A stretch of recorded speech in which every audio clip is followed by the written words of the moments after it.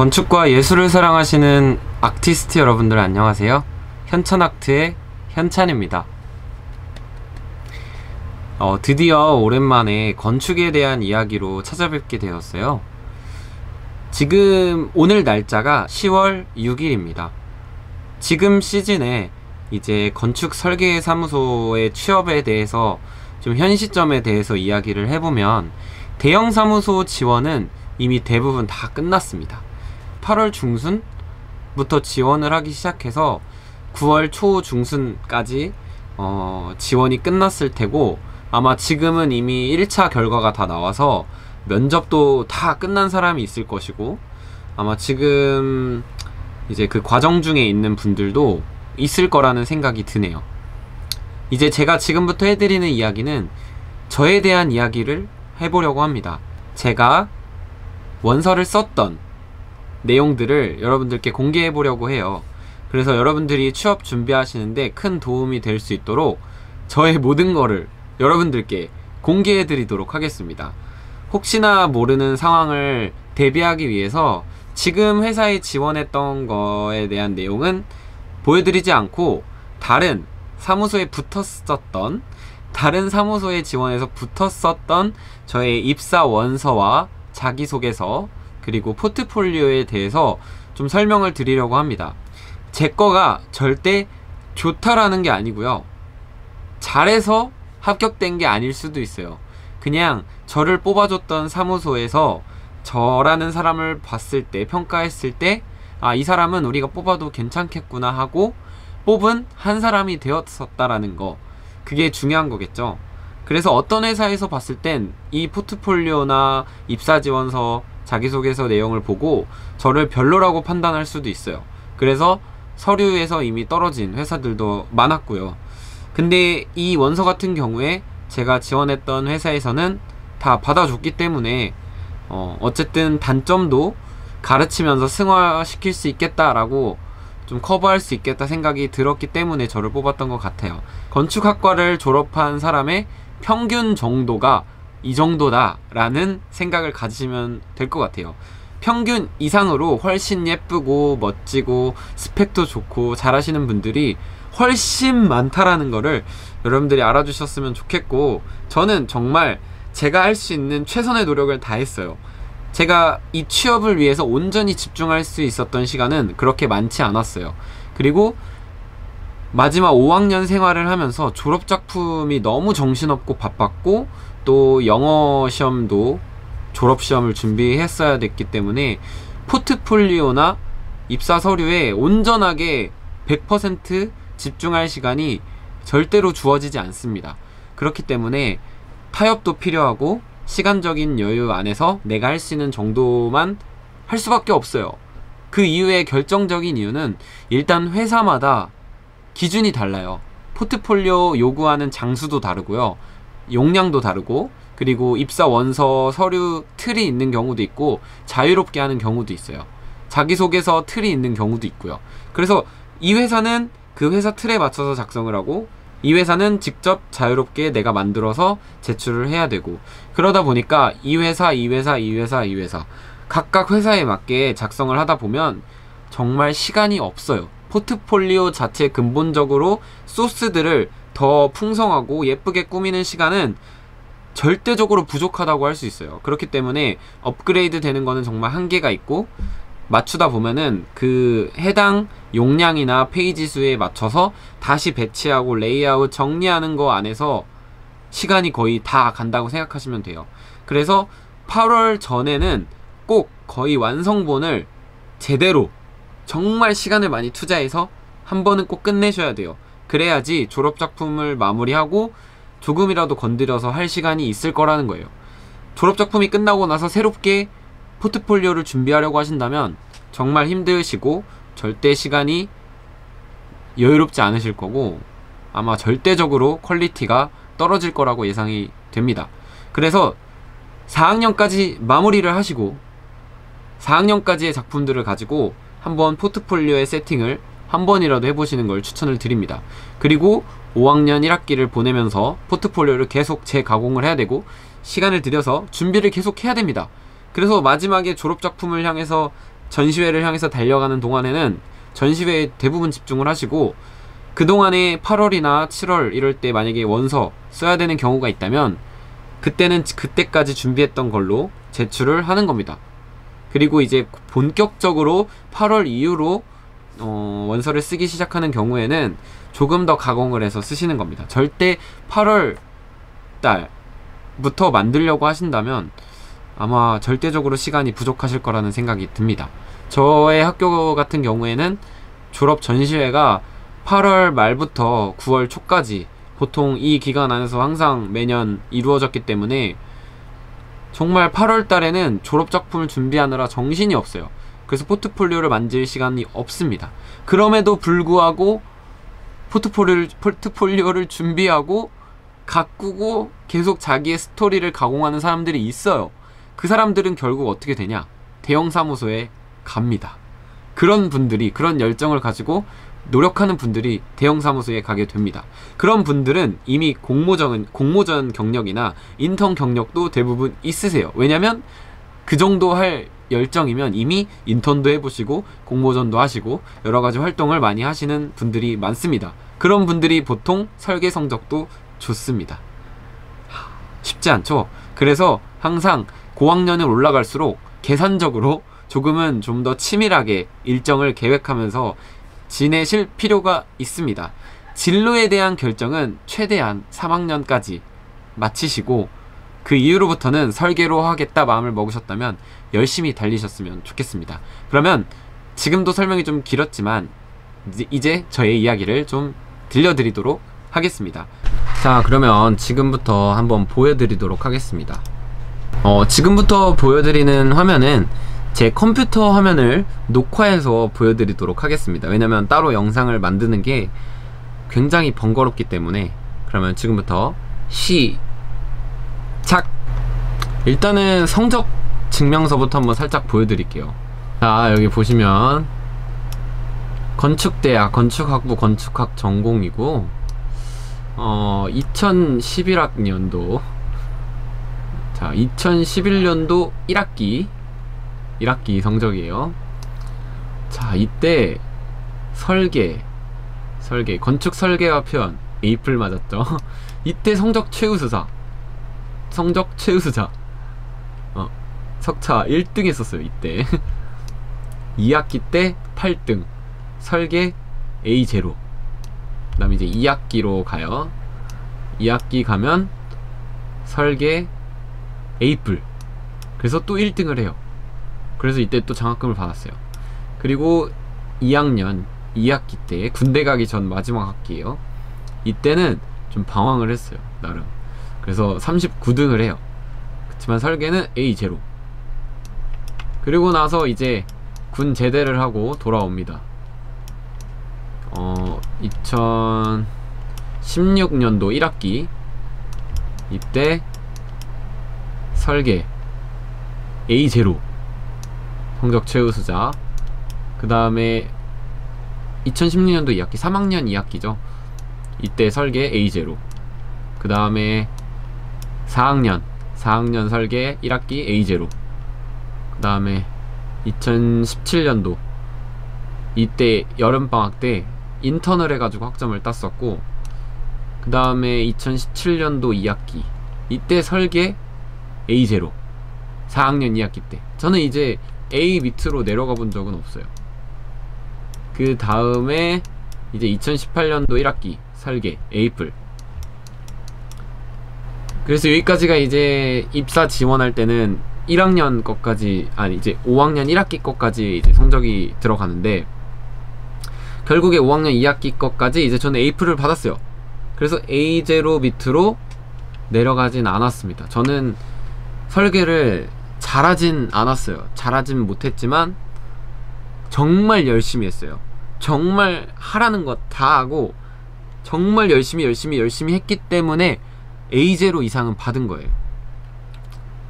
저는 솔직히 말하면 A0 이상 받는 방법은 분명히 정해져 있다고 생각을 해. 생각을 해요. A뿔 맞는 사람은 따로 있어요. A뿔 맞는 사람은 설계를 잘해야 돼요. 그리고 예쁘게 잘 마무리도 해야 되고요. 모형도 잘 만들어야 되고 비주얼적으로 정말 완성도가 높아야지 A프를 받을 수 있어요. 근데 A0 받는 거는 정말 노력하고 끈기 있게 붙들고 노력하면 A0는 받을 수 있다고 저는 감히 말씀을 드립니다. 네.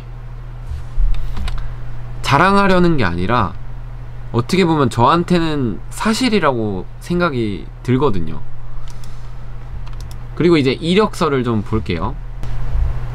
이 이력서 같은 경우에는 어 제가 만든 거예요. 정말 어떻게 보면 정말 미니멀하게 깔끔하게 만들려고 노력을 하, 했던 거예요. 그래서 여기 보시면 인포메이션 있죠. 간단하게 이름, 뭐 제 이름, 그리고 한자 이름, 영어 이름.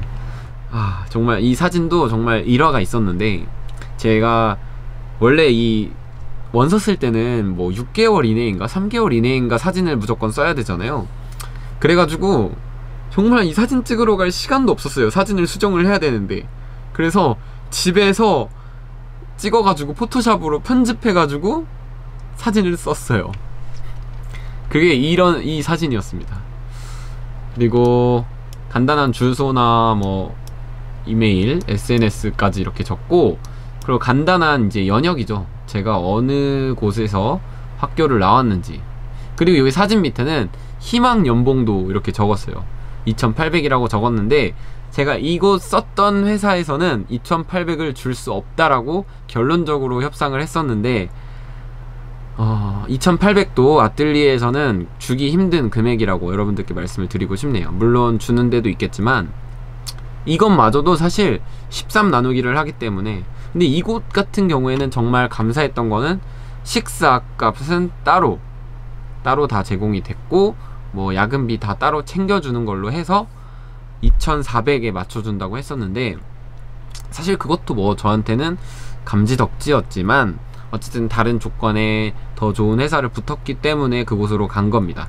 이곳에 갔다면 어, 한 2,600 정도의 연봉이라고 생각할 수 있었을 것 같습니다.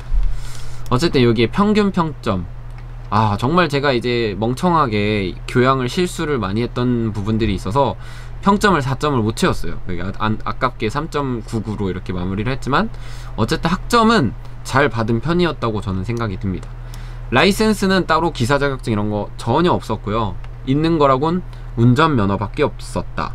여러분 아뜰리에 같은 경우에는 운전면허 있는 사람을 굉장히 중요시해요. 왜냐면 현장도 다니고 협의도 다니고 하려면 여러 심부름이나 여러 그 다녀야 되는 곳이 많기 때문에 운전면허가 있으면 우대를 해주기도 합니다. 그래서 운전면허는 시간이 되실 때 무조건 미리 따두시면 좋을 것 같습니다.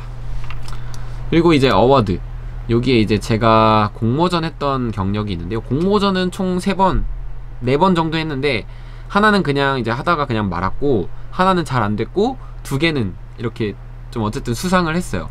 그래서 되게 재밌게 나름 방학 기간 동안에 이제 틈나는 대로 겨울 방학과 여름 방학을 통해서 1년 동안 틈틈이 열심히 해서 어쨌든 이렇게 수상을 해서 내세울 게 어쨌든 간에 대상은 아니었지만 쓸 건 있었다. 그래서 여러분들도 입선은 의외로 열심히 하다 보면은 탈 수 있어요. 그래서 입선을 하시면 좋을 것 같아요.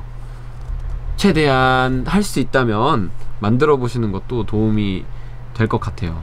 그치만 정말 쉽지 않은 기간이기 때문에 마음 잘 맞는 분들과 하면 좋을 것 같아요.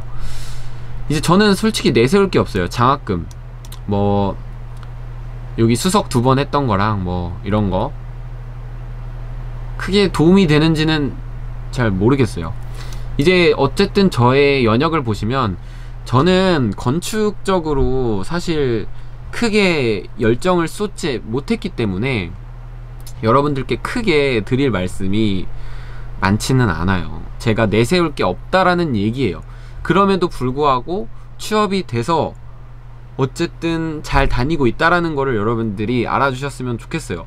어떻게 보면 저는 평균 이하에 가까운 사람이에요. 평균일 수도 있고요. 그러니까 여러분들이 저의 이런 모습들을 보시고 참고하실 건 참고하셔서 어, 좀 도움을 받으셨으면 좋겠어요.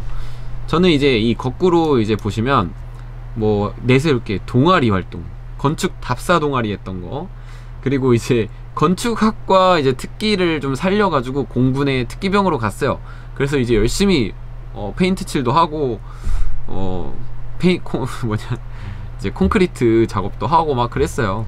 그리고 제대하고 농협은행에서 청원 경찰도 반년 이상 동안 계약직으로 일도 해보고 또 대학로에서 연극도 했었어요.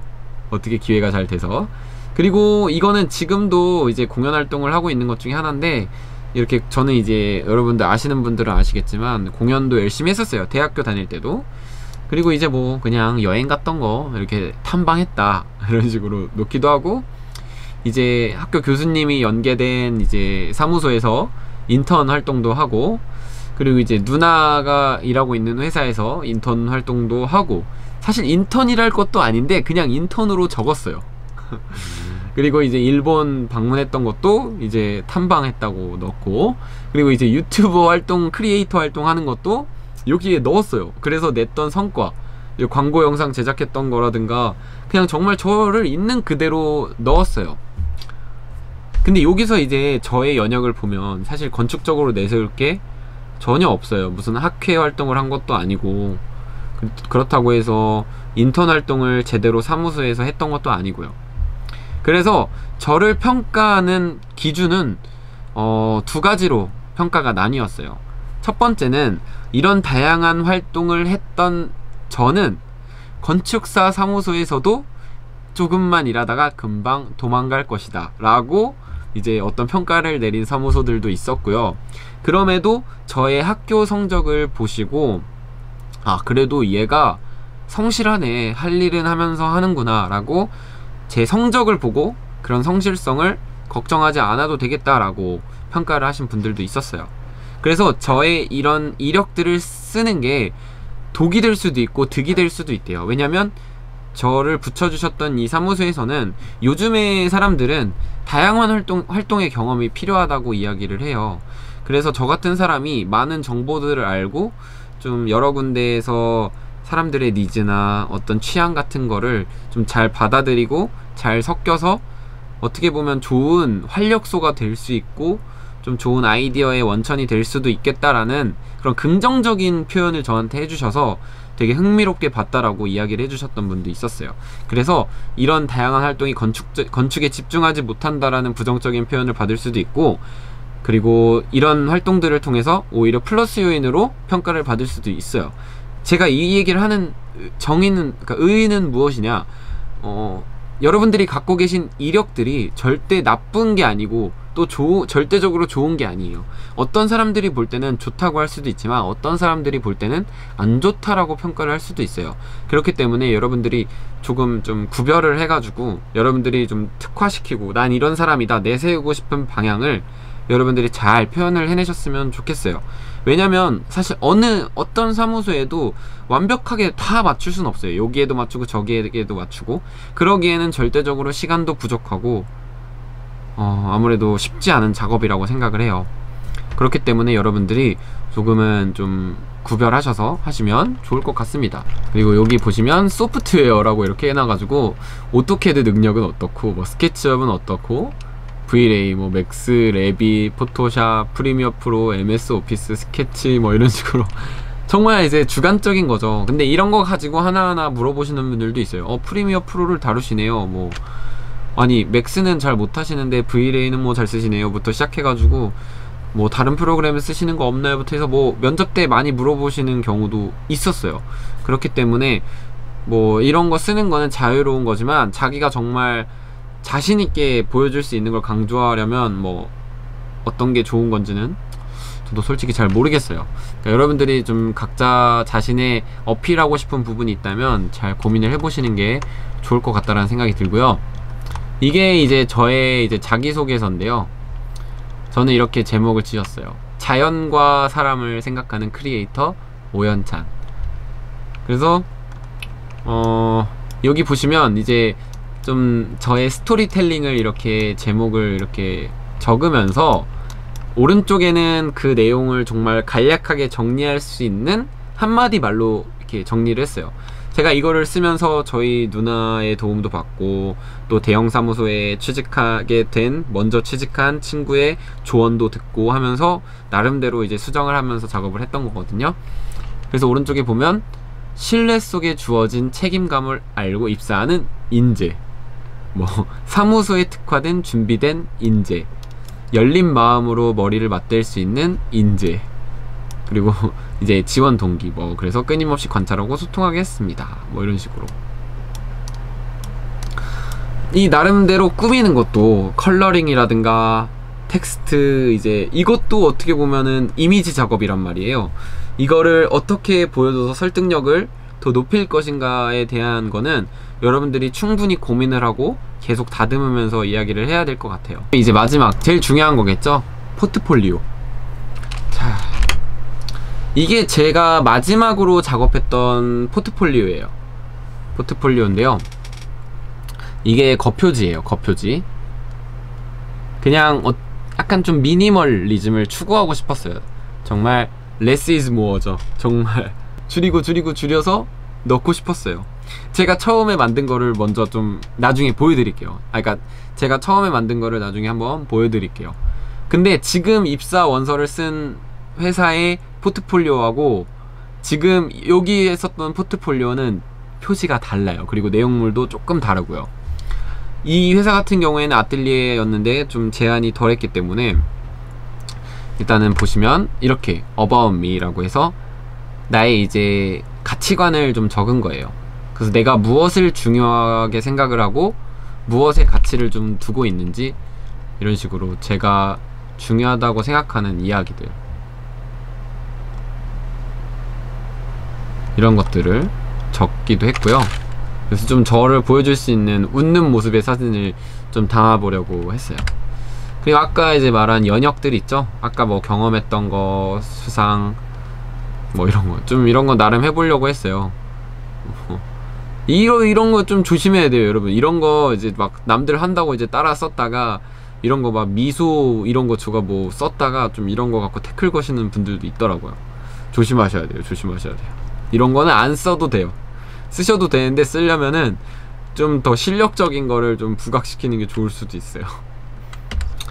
그리고 이제 인덱스라고 해서 이제 이게 어쨌든 책으로 제작되는 거라고 생각을 했기 때문에 이제 왼쪽 페이지예요 이게 그래서 설계 수업 때 했던 제가 대표작 제 대표작 나름의 대표작이라고 했던 이제 졸업 설계 제가 자신 있는 것부터 맨 앞으로 놓는 거예요 그래서 졸업 설계 뭐 통합 설계 뭐 그래서 저는 결국 뭐 5학년 4학년 4학년 3학년 이렇게 내려갔고요.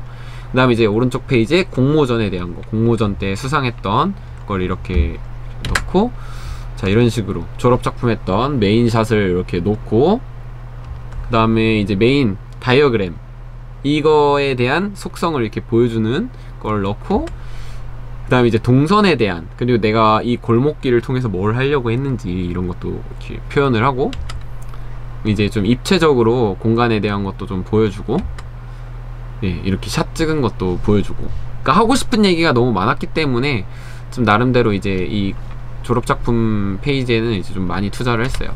그리고 이렇게 모형 사진 만든 것도 가공을 이렇게 해가지고 찍은 것도 이제 가공을 해가지고 이렇게 담고 그리고 이제 통합 설계 했던 거 이런 거 순서대로 이렇게 넣은 거예요. 메인샷 깔끔하게 넣고 여기에 이제 다, 메인 이제 상세 단면도랑 뭐 다이어그램 같은 거 넣고 단면도 넣고 그다음 뭐 이렇게 도시 설계 했던 거. 전 이게 좀 소름 돋는 게 제가 여기 이제 성수동에 이제 프로젝트를 진행했었는데 여기가 요 근처가 지금 제가 다니는 회사예요. 바로 요 건물. 요 건물이 요 건물이 제가 다니는 회사 건물입니다. 우. 아무튼 이렇게 다이어그램 넣고 평면 넣고 이렇게 3D 샷도 이렇게 넣고 나름대로 이제 저는 열심히 한다고 했었던 작품들이에요 다 그리고 이건 3학년 때 이제 서초구청 이제 증축 프로젝트 했던 거고 이런 식으로 좀 회사에서 하는 도각으로 캐드 수 캐드를 열심히 했던 프로젝트였어요.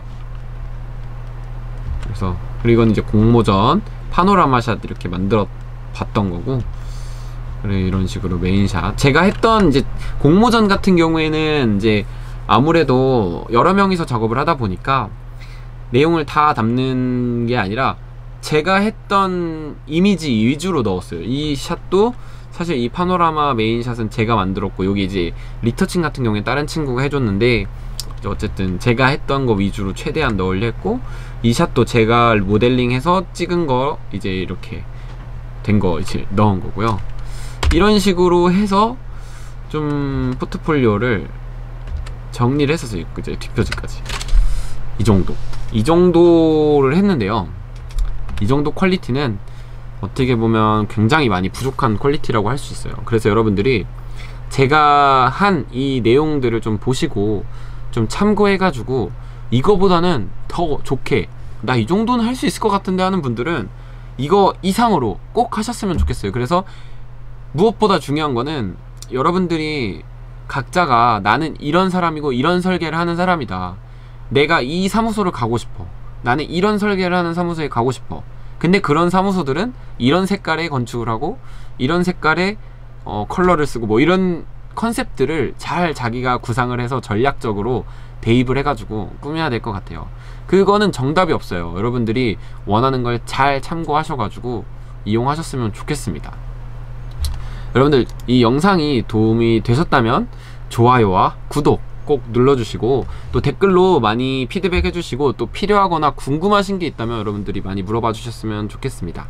여러분들에게 건축적으로도 꼭 좋은 정보를 드리고 싶은 채널이니까 여러분들 많이 참고해 주시고 부족한 게 많아요. 저도 이제 배워가고 있고 지금 학생분들이 학교에서 하고 계신 게 저보다 훨씬 quality가 높은 분들이 아마 훨씬 더 많으실 거예요. 저희 후배만 봐도 저보다 당연히 더 잘하는 후배들이 반 이상이고 훨씬 더 많을 거예요. 지금도 이미 3, 4학년인데도 저보다 잘하는 학생들도 많더라고요. 공모전도 되게 열심히 하고 그래서 저는 저대로 이제 길을 가고 있으니까 어, 여러분들도 각자의 색깔에 맞게 여러분들 준비 잘 하셔서 취업에도 좋은 결과가 있으셨으면 좋겠습니다. 이미 지금 취업이 많이 진행이 돼서 지금은 원서는 많이 다들 쓰신 상황일 거예요. 그럼에도 이제 쭉쭉쭉 연말까지 계속 원서를 써야 되고 내년 연초까지도 상반기도 계속 진행이 되니까 여러분들 어, 이 영상을 보시게 된다면 도움 많이 되셨으면 좋겠습니다. 그럼 여러분들 여기서 영상 마치겠습니다. 안녕.